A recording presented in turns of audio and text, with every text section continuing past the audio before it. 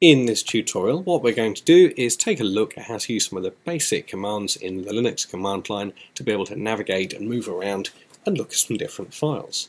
Hopefully what you've done at the moment is you're on the, uh, lesson 2 page, which is what I've got open on my screen just here, and what's happened fairly quickly is as the uh, web page is rendered, you've got this load of black text that's rolled past and eventually uh, giving you this blinking command prompt. Um, before we do get started today, what's probably nicer and will make things a little bit easier for you as you work through the tasks is rather than using the one embedded in the page to actually uh, click on here instead, which will give you a pop-up version of the same thing. So this is the same as this, it just means you can drag it around a little bit uh, and you can continue to read the notes. So what are we going to try and achieve? Let's imagine for a second that uh, when we use a computer we want to access some of the files that are on it. If we're using Windows, we could have lots of different things. You might have a drive, you've got your H drive where your work lives. And what I've done on my computer is I've made a new folder, or directory as we should say really, which I've called temp. And inside that temp folder, where I am right now in Windows, I can see I've got another folder here called treasure hunt. And if I wanted to, I could go inside that folder, and there's some more folders, and we can put folders in folders in folders. This is really handy, isn't it? Because if I was on my uh, H drive as a student, I might have in the uh, in the root of my H drive, just in the H drive itself, we call that the root, uh, I could have a folder for computer science, a folder for systems and control, English, maths, and so on. And then inside my computer science folder, I might have a year 7, 8, and 9 folder. Inside the year 9 folder, I might have a Linux folder, and so on. And so it just makes it easier to organize our work uh, when we've got lots of those pieces of information. And it's exactly the same on a Linux system. What's different when we're using the command line though is that rather than having little icons that we can click on and little coloured yellow folders, uh, we instead access it by typing commands instead.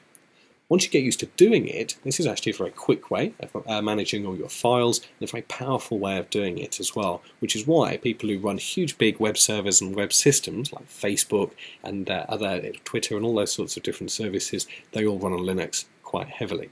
So uh, let's, uh, let's do something. What we're going to start by doing is setting up our terminal session that we've got here so that it's got some files that we can work with today to actually look through and delete and have a look inside. So if we actually look on the web resource we've got here, it does say type in the following commands. So uh, let's do those. Now what won't work for you, look if I go on here and I think right, I'm going to save myself some time, I'm going to copy that, I'm going to go into that other web window, there it is, and I'm going to try and paste that in. Uh, you're going to find that that's not really going to work very well. Okay, you could uh, paste it in there, but that's not really what we're trying to do. What you actually need to do is type the commands in here. So uh, cd space forward slash home.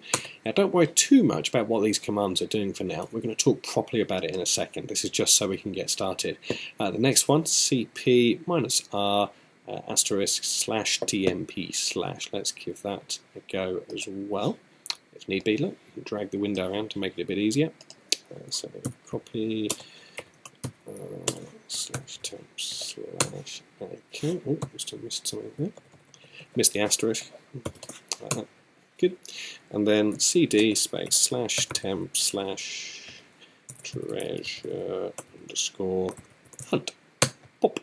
Okay, if you manage to type all those commands correctly, then what you'll have and what you'll be looking at now is a prompt which looks rather a lot like mine. It'll say slash var slash temp slash treasure hunt, and there'll be a little hash symbol sticking on the end with a blinky cursor. Common mistakes, not typing a capital R just there, that can upset it, but apart from that, there's not much too much scope to go wrong. So we've now got our system and we're ready to have a look. Let's do a side-by-side -side comparison as we learn our first command. So where I'm sat here at the moment in temp, okay, so there's the, uh, the root of my drive, and then there's temp, uh, and I'm going to go and sit inside the treasure hunt directory. I'm going to do that as well and double click on there. So on my Windows version of this file system, I can see I've got four more directories, A, B, C, and D. What I want to do in Linux is to learn the command which will list all the directories in the current um, directory that I'm sat in. And we do that by typing ls, short for list. And what happens then is the computer comes back and says, okay, I can see four directories called A, B, C, and D. Color scheme is not very helpful, dark blue on black, can't do anything about that. And I could uh, then at that point learn another command. What if I'd like to see what's inside this A, B, C, and D directory? I need to change my directory, change directory, and the command for that is cd. So cd space, and then I'm going to look in A first, I think. So type in A and hit enter. Now I'm in the A directory. You'll see that the prompt has changed to tell me the directory that I'm currently working in. And once again, just like before, I can do a list and I can see what's in there. And I'll do the same thing here. So you can see in my Windows computer I've got three uh, text files, one called other file, that file and this file, uh, and they're sat in there. And, uh, and I can see those just here as well. The next thing I want to be able to do is to actually look and see what the contents of those files is. And there's lots of different ways we could do it, but one way for a quick peek in the command line is to use a program called cat, short for concatenate, not very helpful, but what it does do, uh, one of the things it does do, is it allows you to see something inside a file. So let's do that. So cat, that's the program that I'd like to run, space, and the file I'd like to look inside is this one, other files. So O-T-H-E-R underscore F-I-L-E dot T-X-T and enter. There we go, and you get a little joke that I, uh, I wrote in there, so a little quip. So that's the contents of that particular file. We could do that again and look at another one. There's, uh, there's a one called that file. I'm going to do it slightly differently this time because I want to try and save some time. I did say it can be faster, but it certainly won't be faster if you have files that have got big long names and you've got to type them all in. So watch this. So I'm going to go cat and space, just like before, uh, and I'm going to type the first uh, the first three letters should do it. T H A, and I'm not going to type the rest. So I've typed in uh, THA, so I'm looking for this file here, the one called that file. What I can now do is if I tap the Tab key, that's the one located above caps lock, what happens is Linux will automatically recognize what I was trying to do and it'll auto-complete for me. I can then hit enter and then you get your next, uh, your next whimsical quip appearing on the uh, screen, a bit like that. So those are three commands that we can use to be able to get quite a bit of different stuff done on the computer. Really, really useful. Another command that's quite handy is sometimes uh, it's useful to see whereabouts we are on a Linux file system. If we want to see our present working directory, we can type pwd, hit enter, and the computer will spit out that we're currently working in temp, treasure hunt, and right now I'm in the A directory.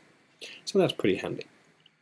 There's another thing we can do as well sometimes if we wanted to look a bit more hacker. When we do a list, what we currently just see is a list of the three file names. If I'd like a little more detail, I can ask for a list, and on the end of it, I can type space and then a minus sign, the letter L for long, and what will happen is I'll get a little bit more information. So this one tells me the date when the file was created, well it was created a minute ago because that's when I'm making this video tutorial. Uh, it tells me the size of the file in bytes, so this one's the longest, it's got 140 characters in it. it tells me the username of the person who made it, their group, let's not worry about that today, uh, and then these things here which are called permissions, but again we won't talk about that today either, I don't think. Now, as I recall, there were four directories. There were A, B, C, and there was also D as well, wasn't there? So I'm going to need to be able to drop back now. One of the problems I've got at the moment is I'm sat in A, and what I need to do is I need to go back and, uh, and then go into the B directory. I'll show you that on my Windows side. So what I'd like to achieve is to drop back one, like this, and then to navigate back into that B folder again. This one's actually empty on this computer. Uh, and let's look at how we do that in Linux. The way I'm going to do it is I'm going to change directory, cd, space, and the shortcut for drop back please is full stop, full stop, like this. So I'm going to hit enter, and you'll see that now, on my command prompt, I'm in temp and treasure hunt, but I'm not in A anymore. I could drop back one more if I wanted. And I've dropped back again.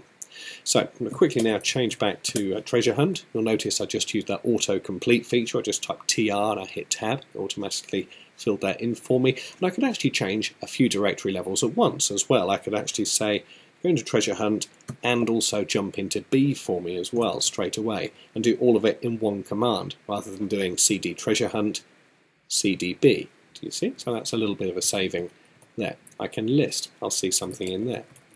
I could look into the uh, C directory instead and I could have a little look uh, in there. There's some more folders in there. Like there's a folder, uh, sorry, a directory called C1 as well.